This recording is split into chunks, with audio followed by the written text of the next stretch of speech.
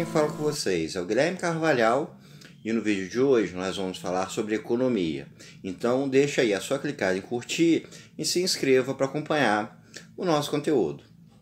É, eu vou falar hoje sobre o livro Capitalismo e Liberdade do economista Milton Friedman. O Milton Friedman é um dos maiores economistas do século XX e é provavelmente o principal pensador da linha econômica chamada de neoliberalismo. O Milton Friedman ele é bastante conhecido por defender a menor participação do Estado na sociedade. É, essa ideia dele de, de um Estado mínimo, um Estado que interfira o mínimo possível na sociedade, nasce de, um, de uma concepção dele sobre a liberdade dos indivíduos ele coloca que a liberdade é o bem supremo das pessoas e que o maior inimigo dessa liberdade é o próprio Estado. A gente tem que pensar sempre que o Milton Friedman viveu numa época em que ele viveu na época da Segunda Guerra Mundial e na época da Guerra Fria. Foram épocas em que, ao longo por todo o mundo, houve ditaduras dos mais diversos tipos. Então, pensar a liberdade do ser humano frente a um Estado totalitário é algo que estava extremamente presente dentro do, do pensamento dele.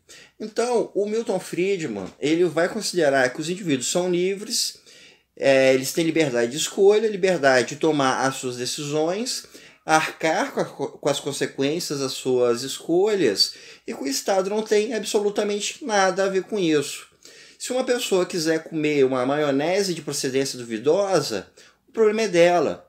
Não é o Estado que tem que proibir o comércio de maionese ou criar regulamentações sobre maionese. Se uma pessoa quer consumir sal e se arriscar a ter hipertensão, o problema é dela. Não é o Estado que tem que criar limitações para o consumo de sal. E aí a gente pode colocar todo tipo de barreira que o Estado coloca diante das, do direito de escolha das pessoas. É, comprar remédios, é, de comprar alimentos, automóveis e o, o que for. Né? O Milton Friedman ele pensa que o Estado ele deve ser extremamente limitado a determinadas, é, a determinadas ações.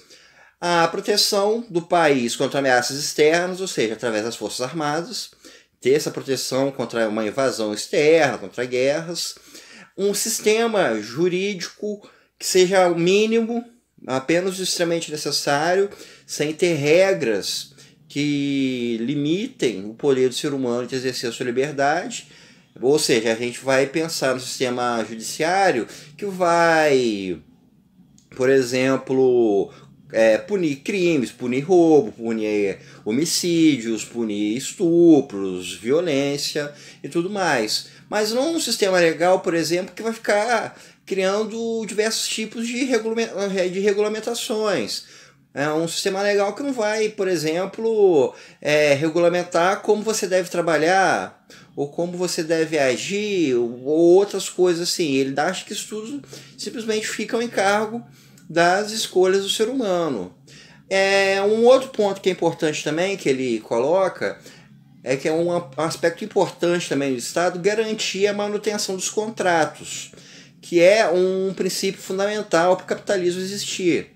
Por exemplo, se uma pessoa pega um empréstimo de 100 mil reais com um banco e ela não paga, o sistema jurídico do Estado tem que forçar essa pessoa a pagar. Se você compra um carro em 60 prestações e não paga, o sistema jurídico tem que te obrigar a pagar. Se você assina um contrato com uma determinada empresa, você tem que cumprir, ou seja, as obrigações contratuais devem ser garantidas pelo Estado. O sistema jurídico tem que cumprir essa sua função. Então a gente tem aí a, a, como essa concepção de Estado para o Milton Friedman para que a liberdade possa de fato ser exercida. O Milton Friedman, ele era um economista, então os seus principais trabalhos, o principal cerne do seu pensamento gira em torno da liberdade econômica. Em Capitalismo e Liberdade, a gente vai ter essa, essa manifestação dele. É um livro bem mais acessível, não é um livro de economia complexo, é um livro onde ele vai abordar de uma forma bem inteligível ou a sua maneira de, de, de pensar. Então, o Milton Friedman ele nos traz muitos questionamentos acerca sobre da questão econômica.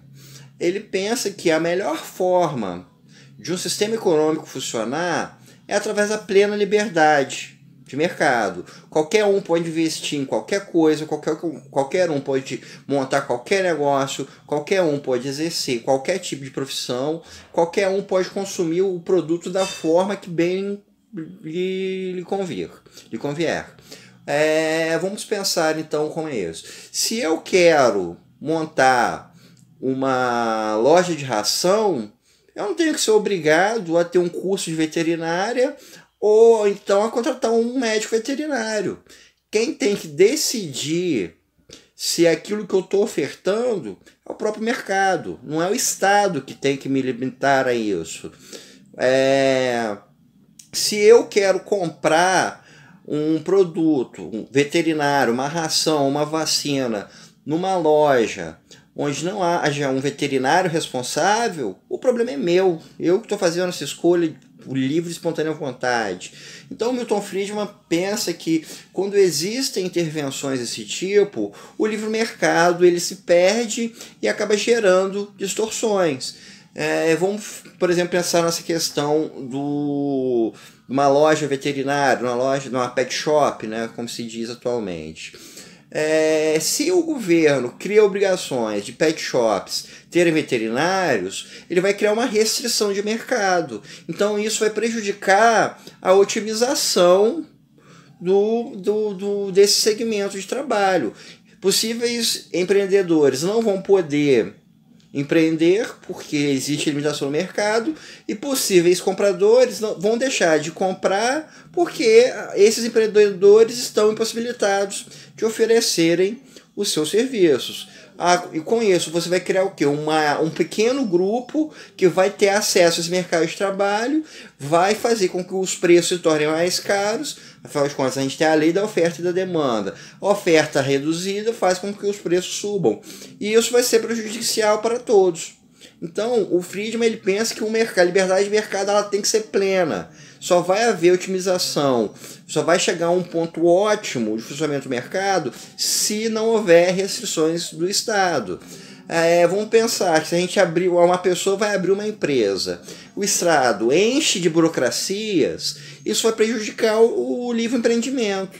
Você quer abrir uma loja, você precisa tirar um monte de tipos de certificados é, tem que precisar de registro na junta comercial, alvará da prefeitura, alvará do bombeiro e todas essas exigências, isso vai fazer com que a possibilidade do empreendedorismo seja prejudicado e que o desenvolvimento econômico não, não chegue a um ponto ótimo.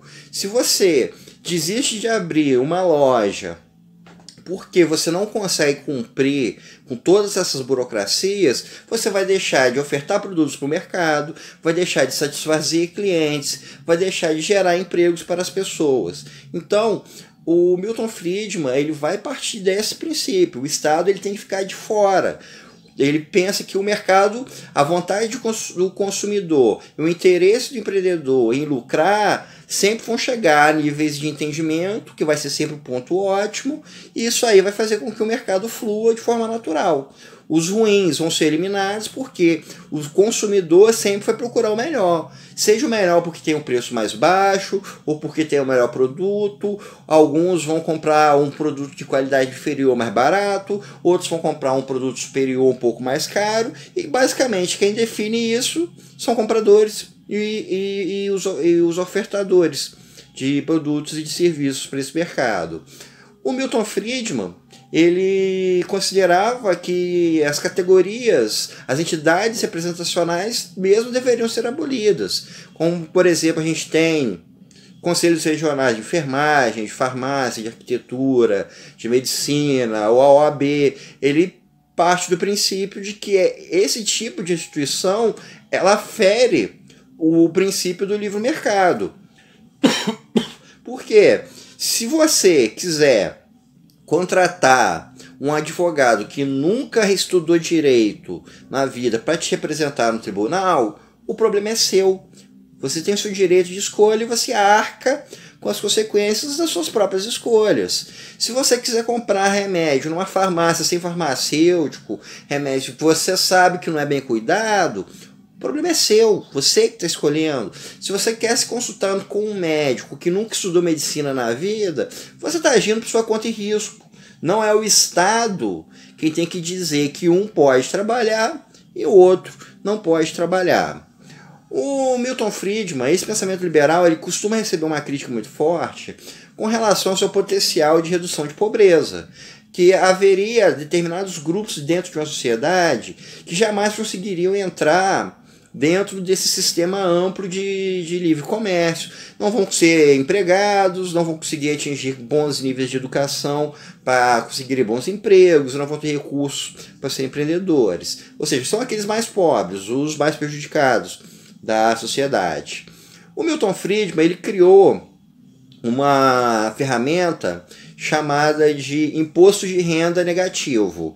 O imposto de renda negativo é algo muito semelhante ao que essas, a, essas, essas ferramentas de transferência de recursos que a gente tem no Brasil, como o Bolsa Família, por exemplo, o BPC, é, as pessoas mais pobres, as pessoas com as rendas mais baixas, receberiam do Estado uma determinada quantia para que o seu poder aquisitivo seja um pouco maior.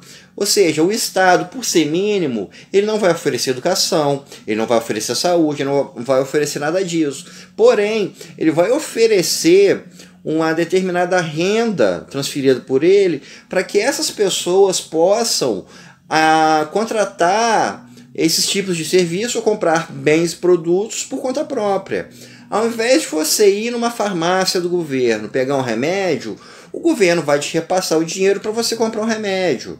Ao invés de você precisar ir no médico que o governo escolheu para ficar naquele posto de saúde do seu bairro, você vai pegar o dinheiro que o governo te repassa e vai no médico da sua preferência. Isso aí vale para todos os tipos de bem e serviço. Escola, ao invés de você ir na escola que o, que o governo colocou no seu bairro, você vai escolher a, a escola que mais te agrade, que, que mais tem o perfil que você acha interessante, pra, ou para você estudar, ou para os seus filhos estudarem. Ou seja, é, você teria então, através do imposto de renda negativo, uma garantia de que o livre mercado vai fluir de que o Estado não vai estar tá interferindo em nada, não vai estar tá colocando escolas, não vai estar tá colocando serviços de saúde, não vai estar tá forçando a população a ir nenhum tipo de, de profissional ou de usar algum serviço que ela ofereça, e vai estar assim garantindo também que os mais pobres tenham direito de consumir tanto bens quanto serviços conforme a, a sua livre e espontânea vontade lhe ditar. Então, pessoal, isso é tudo por hoje. Espero que vocês tenham gostado e até o nosso próximo encontro.